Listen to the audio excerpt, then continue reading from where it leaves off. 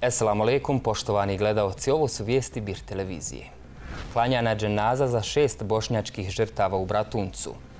U Bratunačkom mezarju Veljaci klanjana je dženaza namaz i obavljen ukop za šest bošnjačkih žrtava iz protekle agresije na našu domovinu.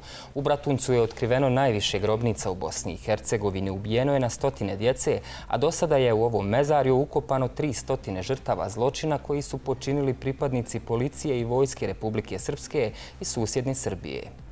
Na Ahiret preselio Salih Brkić do AEN bosansko-hercegovačkog novinarstva.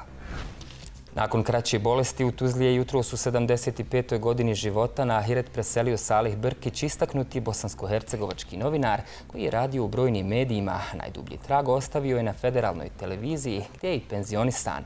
Brkić je autor brojnih dokumentarnih filmova i dobitnik je na desetine novinarskih nagrada, od kojih je i povelja Hasan Kaimija za životno dijelo. Svečano otvorena manifestacija Dani Vakufa u Bosni i Hercegovini. Otvorenjem ženskog internata Behram Begove medrese u Tuzli svečano je počela tradicionalna 11. manifestacija Dani Vakufa u Bosni i Hercegovini. Ove godine manifestacija će trajati do 18.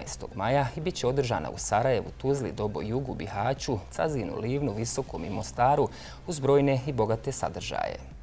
Mostar održana tribina perspektive Bošnjaka u Sanđaku i Republici Srbiji.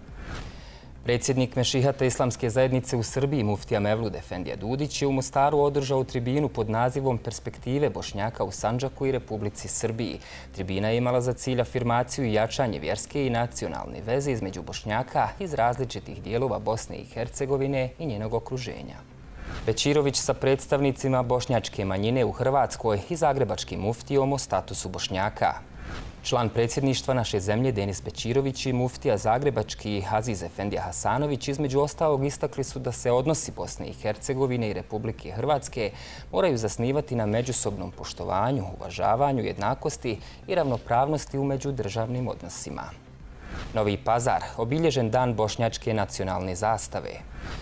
Uz prisustvo brojnih građana Novog pazara, javnih ličnosti, zvaničnika Bošnjačkog nacionalnog vijeća i intoniranjem himne sanđačkih Bošnjaka Jasin sam tvoj, na Jarbol je podignuta Bošnjačka nacionalna zastava i time obilježen jedan od najvažnijih blagdana Sanđaka. Džamija na starom gradu u Bužimu najstarija i najveća drvena džamija u Evropi. Prvi sezan sa najstarije i najveće drvene džamije u Evropi začuo 1838. godine kada je Vakufnamom turska vlast finansirala gradnju džamije u Bužimu. Ova posebna džamija 2003. godine je postala nacionalnim spomenikom Bosne i Hercegovine. Sarajevo, sajam srednjih škola i vještina privukao veliki interes učenika i javnosti. Jednodnevni sajam srednjih škola i vještina omogućava srednjim školama u kantonu Sarajevo da prezentuju svoj način rada, ponudu obrazovanja i način na koji su povezane sa poslodavcima. Na sajmu se okupilo više od 40 škola iz ovog kantona. Uskoro počinje manifestacija Dani jagodastog voća u Čeliću. Tradicija manifestacije Dani jagodastog voća u Čeliću traje još od 1980. godine. Ovaj grad poznat je po izuzetnoj kvaliteti jagode, a uskoro će građanima ovog grada, ali i gostima, biti predstavljeno ovo korisno i slatko voće. Muharem Inđe povukao kandidaturu na predsjedničkim izborima u Turskoj. Građani Turske će 14. maja glasati na predsjedničkim i parlamentarnim izborima, a birat će između tri predsjednička kandidata nakon što je jedan od kandidata, Muharem Inđe, povukao svoju kandidaturu. Pravo glasa na izborima ima 64,11 miliona ljudi, a više od 4,9 miliona turskih građana glasat će po prvi put. Više u večerašnjim aktuelnostima ostanite uz naš program.